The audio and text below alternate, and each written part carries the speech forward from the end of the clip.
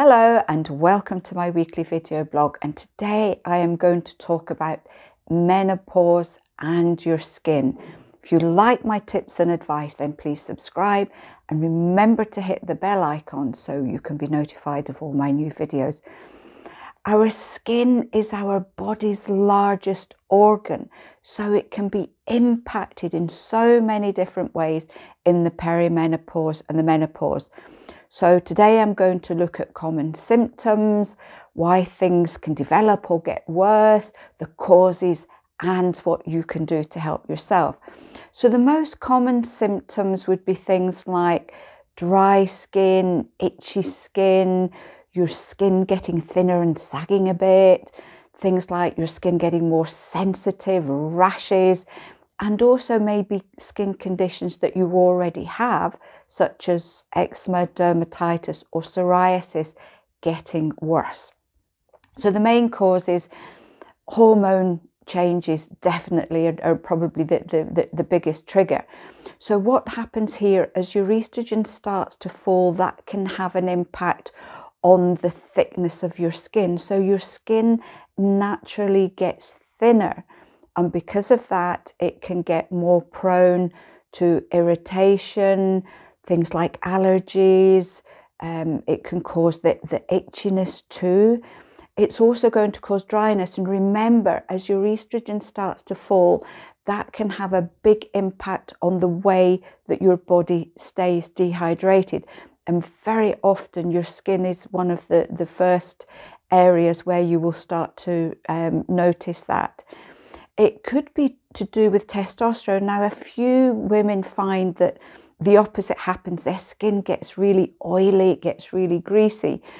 If that's accompanied by excessive hair growing in places where, where normally it doesn't, or you find that you get really irritable and angry, that can often be an indication that your testosterone levels are that little bit high. And there, this is what's causing these particular symptoms unfortunately, the only way you can really find out about that would be to maybe get a, a, hormone test done to see if that's what's going on. It can be due to stress. Now, all of us are stressed in, in this day and age. You know, I don't know anybody who, who isn't in, in some way.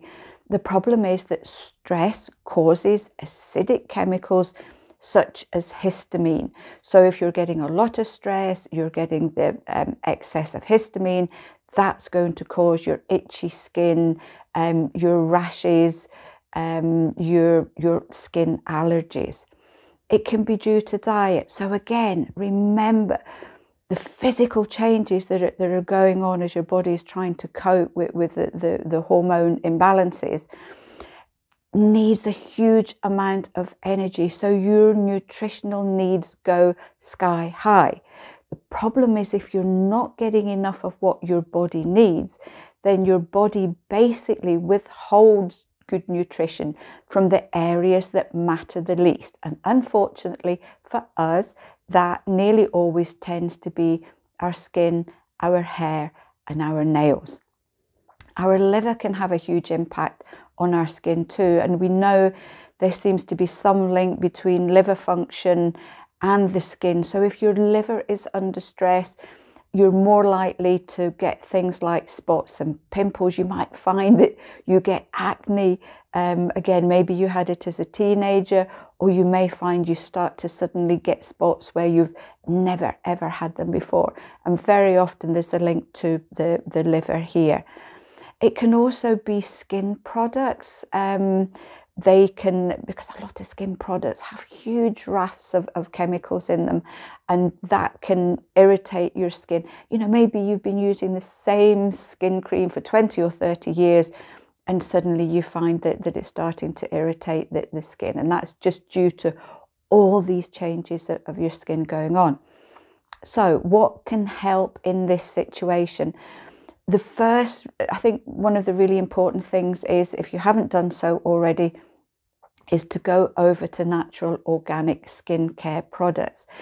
Not only, as I mentioned before, a lot of these skin creams have huge amounts of chemicals in them, but some of them are known as hormone disruptors.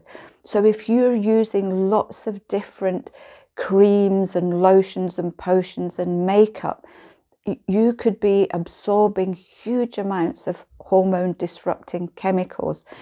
What to do if you've got a favorite cream? There is a, an absolutely fantastic website called the Environmental Working Group. Um, so just Google that, and that lists the majority of really common skincare creams, and it will tell you what nasties may be lurking in there.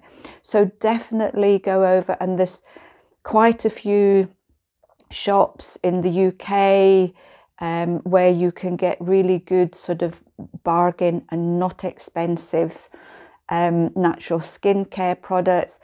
I get a lot of mine from TK Maxx purely because they discount them um, quite hugely com compared to the other shops. So it's a, certainly worth it if you've got one near you. Um, and I stock up on all my um, face creams and, and body lotions, etc., um, while I'm in there. Other thing you can look at, we do a lovely cream called Comfrey Cream. Comfrey is great for aging skin. It, it's a, a, strengthener, it's a skin strengthener. Um, so a lot of people find that this is a, a nice one for um, your day, uh, evening night cream, if you like. I also use it for my nails. I find it helps to, to keep my nails nice and strong too. Look at your diet. Remember your nutritional needs go up. You can get really good skin supplements if you find your diet's a bit of a struggle.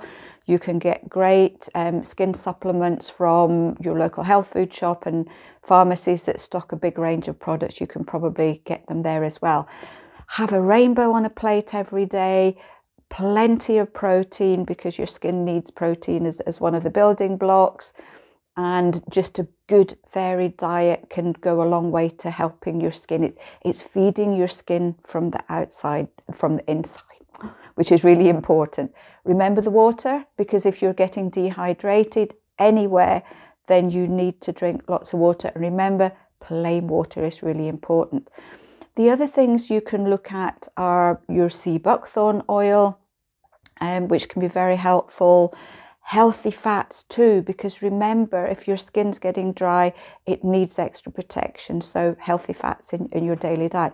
You can also look at our balanced mineral drink um, our peri perimenopause um, balance. This is known to help in 10 ways so it's got things like zinc and magnesium in it and these are known to also help with your skin your hair and your nails.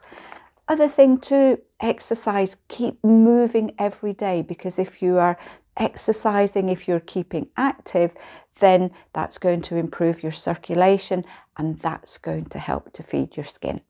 Another couple of tips that can be really helpful for the skin if you're getting itchy skin and rashes, the herb nettle is known as a really good natural antihistamine. And if you find stress is doing, if, if you find that you get really stressed and that then results in rashes, um, you know, support your nervous system. Things like um, the herb uh, passion flower can be a really nice one for that too. So I hope you found this one helpful. If any of you out there have found other ways of helping with your skin that have worked really well, please share them. You know, I always love to, to read your comments and suggestions. And until then, I will see you next week.